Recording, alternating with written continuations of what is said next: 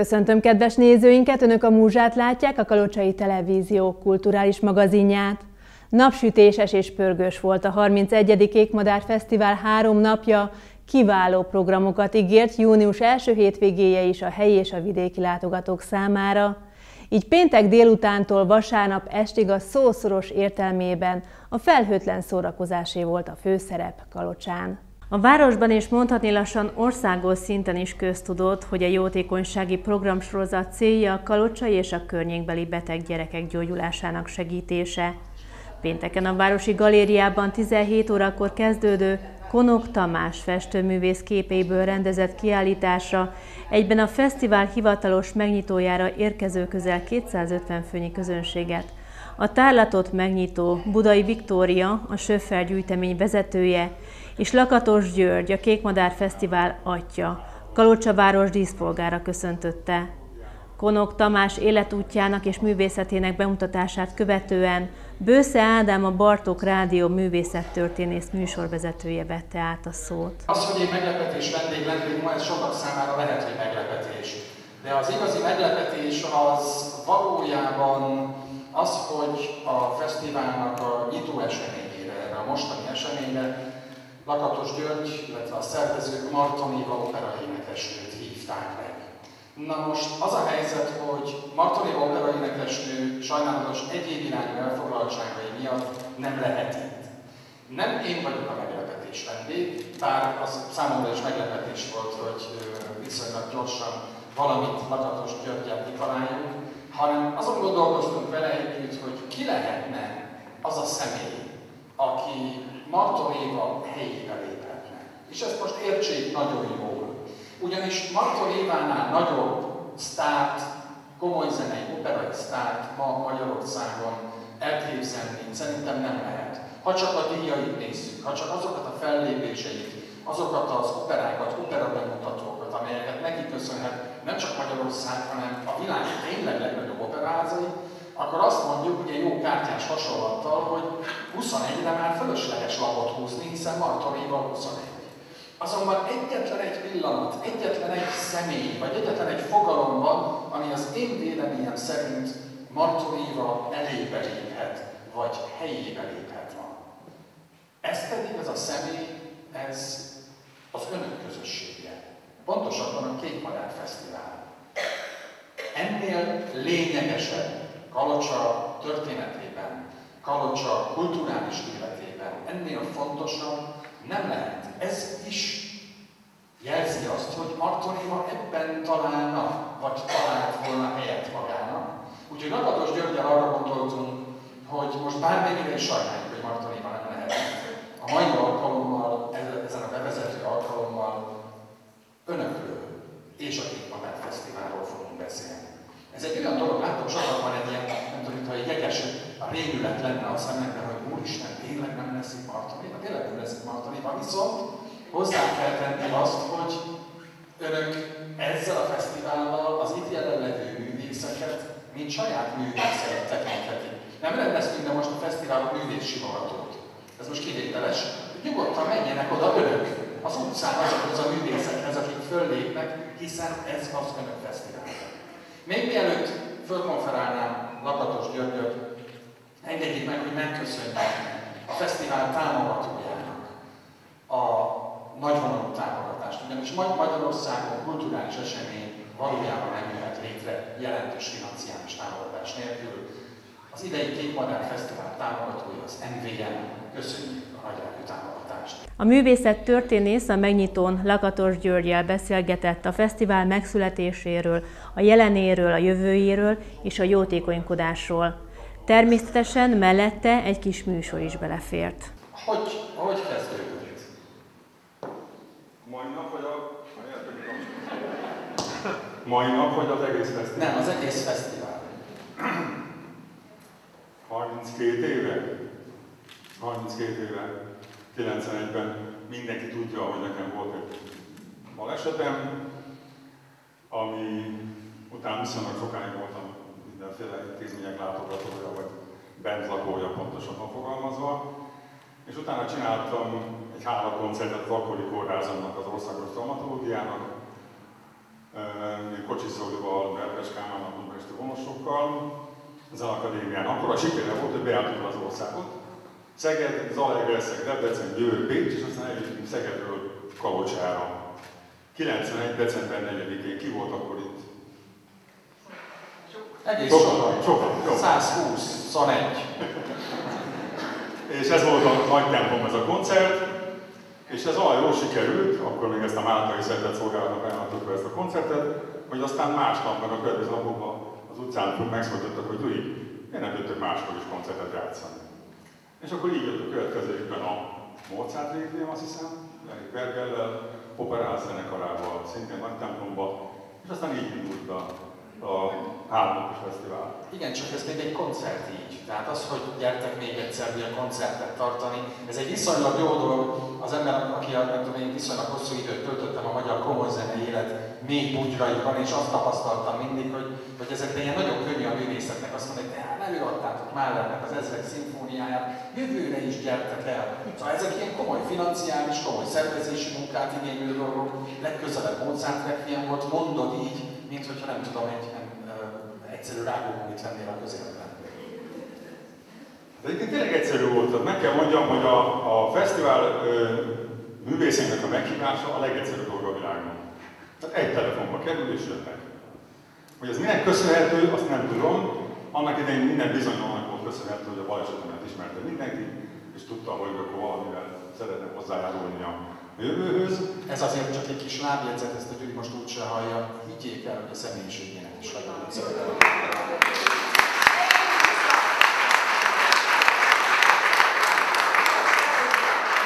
Látom, ezeket szereted, úgyhogy ebből még adok, jó? Ha valaki ismeri a személyiségemet, az én vagyok, úgyhogy tudom, hogy nem van egyszerű. És szerintem Na, bocsánat, ezt senki nem mondta. Szóval én azért rendes hullámú völgybekegy vagyok sokszor, vagy majdnem mindig, de tény, hogy a művészek első szóra a világsztároktól kezdve, a magyar világsztárokon keresztül mindenki szíves jött, egy.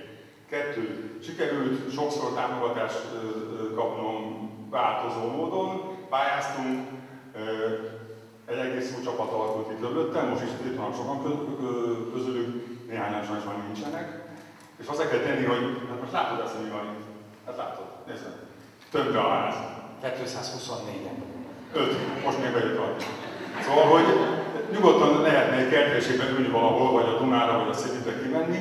Nem, eljönnek a közönség, és este is eljönnek, majd nézem a ki lenne szó. Hát most lefotóztam magamban ezt a képet. Aki nincs itt három napig, azt nem írom alá az indexét. Na jó, szóval ez egy óriási szervező munkát is igényel, de emellé, hogy egy zenei fesztivál, vagy zenei koncert, az, az első nézzük, legyen Kalocsán, emellé milyen gyorsan társult a jótékonyság? Hát szerintem rögtön, rögtön az első pillanatban én azt mondtam hogy idén a Kocsis Zolinak, hogy ugye lejössz ingyen játszani, persze lejövök ingyen játszani, és aztán kezdve mindenki, az operázenekar, az AHZ, a fesztiválzenekar, a Ránki Dezső, a Bukán György, a Zorán, a Presser, a Rózsi, sorolhatnám az embereket, mindenki első szóra, van, aki az úti költséget sem fogadta el. Te elfogadtad az úti költséget?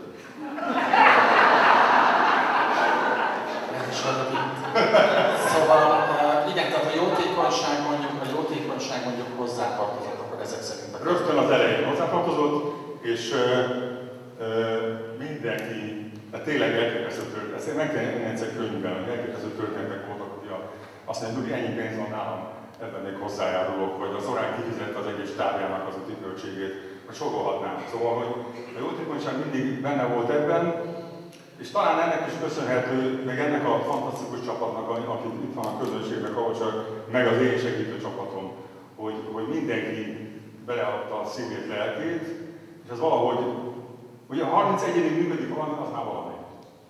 Mert általában egy fesztivál, nagyon sok, hát több fesztivál van, az én koromban kezdte el csinálni a saját fesztiválját. Ment 5-10-15 évig, 15-20-ig, és aztán utána vagy elfáradt, vagy már aki szervezte, az nem bírta, vagy szóval elfáradt a fesztivál, és ez meg azt veszem észre, hogy nem, hogy elfáradna, hanem egyre inkább, egyre inkább újjászületik, vagy megújul, vagy megy előre. Nagyon boldog vagyok egyébként, hogy egy, egy válaszban az összes kérdésemre megadod a választ, de, de próbáljuk meg szorítkozni arra. Jó, szóval azt mondd meg, hogy egy kicsit beszéljük ki a közönséget, a kalocsaiakat. Te mit érzel? 31 év, nagy idő, az itteni helyi kultúra éhes emberek közössége mennyiben változott támogatásával, lelkesedésében? Voltak-e hullámhegyek, voltak-e hullámvölgyek? Bátran. Hát hullámhegy és hullámvölgy mindig van. Azért a két madárban a völgyek azért nem voltak a nagyon mélyek. Tehát előfordult, hogy mi nem szerveztünk valamit olyan jól meg, bár az nem nagyon. De előfordult az, hogy volt olyan egy százalék műsor, ami nem volt annyira passzentos, vagy nem volt annyira közönségnek tetsző. Ezt a közönséget én ismerem 31 éve, tisztelt az, akkor még nem jövőknek. És mindenkit, ha nem is névről, de szemről, meg mosolyról ismerek egy ideje. Tehát ez a közönség, ami azért, ez a korosztály, ez az én fiatalabb korosztályom nálam, azt látom, főleg. Én ezt én is tapasztaltam, hogy a Bartók Rádión, amikor még megboldogult fiatal koromban dolgoztam, akkor gyakran volt olyan, hogy egy-egy, nem tudom, kiszólásra hallgatók írták, hogy jó, kisfiam, maga csak ne beszéljen, én már, én engem, engem még, amikor kislány voltam, Liszt Ferenc is megsimogatott, szóval egy egészen más közösség volt, ez egy fiatal közönség valóban. De fiatalodik a közönség, nagyon sok fiatal van, a csapatban rengeteg segítőnk van, nagyon olyan, első István gimnázium, most már Szent István, bocsánat, én még első Istvánként jártam oda, szóval a korosztály az jön velem fölfelé, lassan bejönnek a fiatalok is. Jó, tehát azt érzed, hogy a közönség az mindig lelkesen támogatott téged, és ez egy fantasztikus dolog. Lelkesek vagytok? Jó, hát ezt tartsanak ilyenek. Na most a másik pedig az, hogy a művészek lelkesednek, igen, de hát mégiscsak van egy művészi koncepció. Ez bármennyire is kell ilyen kompromisszumot kötni azzal, hogy ez mégiscsak egy jótékonysági fesztivál? Nem tapasztaltam. Én nem tapasztaltam.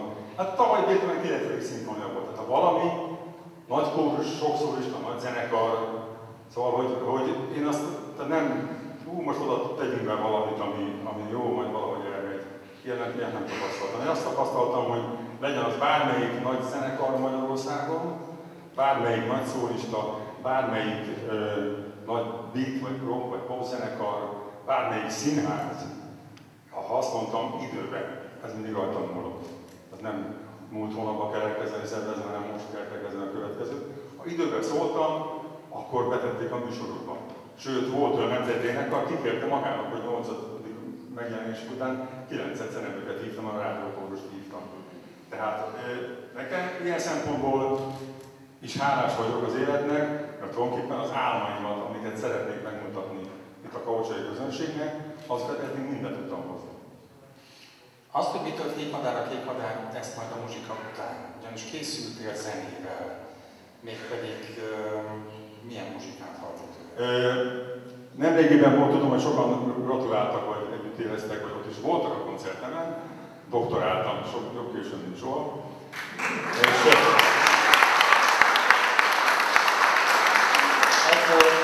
ettől fogva ezt fogja szeretni Lakatos György, hogyha utcán per doktor úr köszönnek neki receptet fölírok bárkinek. Hogy, és arra gondoltam, hogy ennek a koncertnek a másik órás műsorát eljátszom. Azt nem lehet. Többet, többet sem. Látod, többet sem. Többen megrémültek. Többen megrémültek. De ebből a koncertből szeretnék most két darabot eljátszani. Az első Borgos Máténak a klasszikusan Járom a világot című darabja lesz, amiben lesz egy zongora partnerem, meg lesz egy meglepetés partnerem is majd valahonnan. Úgyhogy Óvos már... Fogadják szeretettel Várkányi Norvát Évát és Takatos